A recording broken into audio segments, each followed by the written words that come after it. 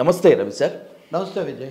Sir Chandrababu గారి ఆరోగ్యంపై వైద్యుల నివేదిక బెయిల్పై వాదనలు కొనసాగుతున్నటువంటి ఈ తరుణంలో సిమెన్స్ కంపెనీకి చెందినటువంటి ఒక కీలకమైన వ్యక్తి అప్రూవర్గా మారారు అనేటువంటి వార్తలు వస్తున్నాయి సార్.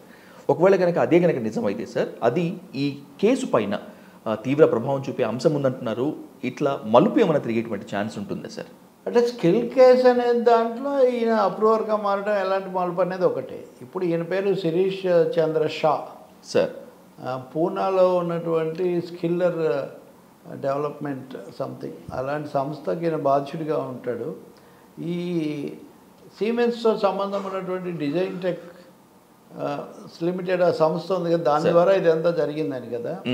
సో దానికి దాంతో ఒప్పందం ఇవన్నీ కుదుర్చడంలో ఇతను కీలక పాత్రధారి అని అలాగే ఒక రెండు వందల పదిహేడు కోట్ల రూపాయలు అనేక షెల్ కంపెనీలకు బదలాయించబడడంలో ఈయన కీలకమైన పాత్ర వహించాడు అనేది మొదట్లో ఎన్ఫోర్స్మెంట్ డైరెక్టరేట్ తర్వాత సిఐడి వాళ్ళు వచ్చినటువంటి నిర్ధారణ. అందుకనే మొదట ఎన్ఫోర్స్మెంట్ డైరెక్టరేట్ వాళ్ళు ఈయన మీద కేసు పెట్టారు. అది నిజానికి ఇప్పుడు ఆయన అప్రూవ్ ఆయన కొత్తగా రంగం మీదకి వచ్చిన వ్యక్తి కాదు కానీ రెండు వేల పదిహేడులోనే ఆయన పేరు వచ్చింది రెండు వేల ఇరవై ఒకటిలో సిఐడి ఆయన అరెస్ట్ చేసింది కూడా. అరెస్ట్ చేసి మచిలీపట్నం జైల్లో కూడా పెట్టారు. ఆ తర్వాత ఆయన అప్రూవర్గా అవుతానని అప్పుడే అడుగుతున్నాడు అప్పటి నుంచి. ఈరోజు ఏసీబీ కోర్టు ఆయన దరఖాస్తును ఆమోదించింది అప్రూవర్గా తీసుకోవడానికి అంగీకరించింది. Okay sir. కోర్టులో అప్రూవర్గా తీసుకోవడం అంటే వాళ్ళు సాక్ష్యాలు నమోదు చేయడం దాని ద్వారా కొన్ని విషయాలను బయటికి రావడం ఇవన్నీ కూడా జరుగుతుంటాయి. సాధారణంగా అప్రూవర్లు అంటే గవర్నమెంట్ వెర్షన్ ప్రాసిక్యూషన్ వెర్షన్ను బలపరచలే మీ మీ ప్రాసిక్యూషన్కి అనుగుణంగా లొంగుతున్నారు.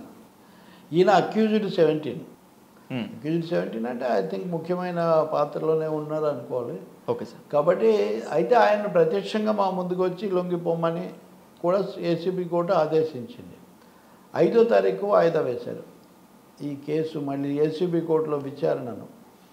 నిన్న కూడా చంద్రబాబు నాయుడు బెయిల్ అది మీరు అన్నట్టుగా చూస్తే ఒకటి ఆయన ఆరోగ్యం మీద రకరకాల నివేదికలు వచ్చాయి. వాటిని మనం కొంచెం తర్వాత మనం వివరంగా చర్చించాలి. ఇంకా రెండో విషయం ఆ సమయంలోనే ఆ ట్యాక్స్ ఎగవేతకు సంబంధించిన కేసు తప్ప దీనికి దానికి పెద్ద సంబంధం లేదన్న పద్ధతిలో కూడా రకరకాల వాదనలు. అటువైపు నుంచి దమ్మాలపాటి శ్రీనివాస్ అనుకుంటాను. ఇటువైపు నుంచి పొన్నవల్ సుధాకర్ రెడ్డి వీళ్ళు వాదించారు. అది నడుస్తూ ఉంది. ఈ లోపల ఇది ముఖ్యమైన పరిణామంగానే భావించాలంటే నేరుగా సిమెంట్స్ కంపెనీతో సంబంధం ఉండి ఆ సంబంధం అంటే డిజైన్ టెక్కే సిమెంట్స్ దానికి ప్రతినిధి అనే ఒక వాదన కూడా చేస్తుంటారు కదా వీళ్ళు. అవును సార్. కాబట్టి దాని ద్వారా డీల్ చేసిన వ్యక్తి నేను అప్రూవర్గా మారుతాను అని వచ్చాడంటే అది తప్పకుండా సిఐడి వాళ్ళ వాదనకు వాళ్ళు రేపొద్దున ముందుకు తెచ్చేటటువంటి ఫిర్యాదులకు కూడా బలం చేకూర్చే అంశం అవుతుంది. April I I mean December ఐదున ఆయన రమ్మన్నారని ఐదో తారీఖు వాయిదా వేశారు కాబట్టి ఓకే సార్. అప్పుడు మరి కొత్తగా ఏ విషయాలు వస్తాయి అది చూడాలి. ఇంత లోపల మళ్ళీ మార్చ్ అప్రూవర్గా తీసుకోవడానికి కూడా కొన్నిసార్లు అభ్యంతరాలు అవి కూడా చెప్తూ ఉంటారు. అది అంతా కూడా ఐదో తారీఖు తర్వాతే మనం చూడాల్సి ఉంటుంది.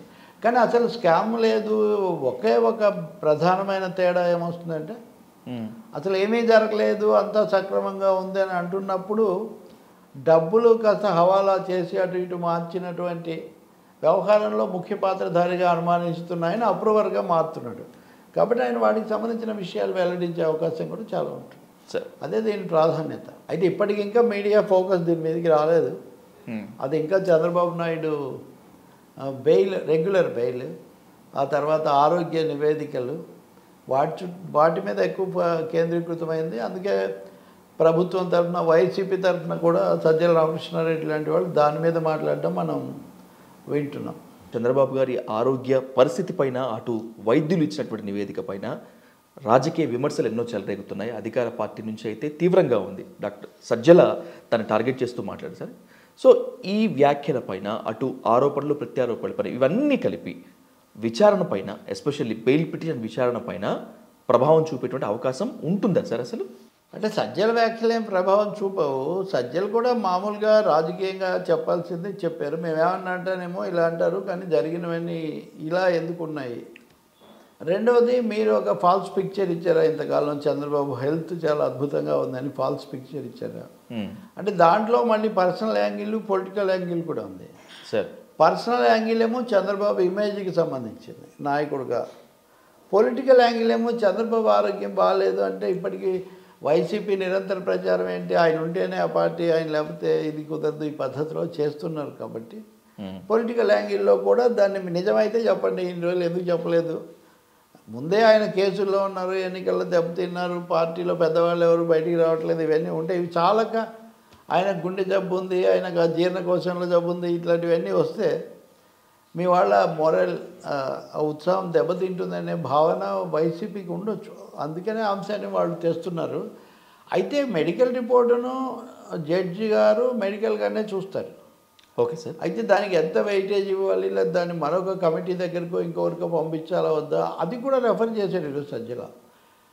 వైఎస్ వివేకానంద రెడ్డి కేసును చాలాసార్లు ఈ సందర్భంలో హత్య కేసును ప్రస్తావనకు తెచ్చాడు.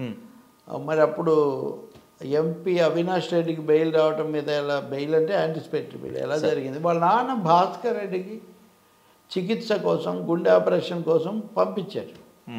పంపించినప్పుడు ఏం చేశారు? మెడికల్ కమిటీని వేసి ఆ మెడికల్ కమిటీ ఇచ్చిన రిపోర్ట్ను చాలా పరిశీలించి ఆ తర్వాత కదా అనుమతి ఇచ్చారు. కానీ ఇక్కడ మటుకు డాక్టర్స్ రిపోర్ట్ అదే ఫైనల్ అన్నట్టుగా ఎలా కుదురుతుంది?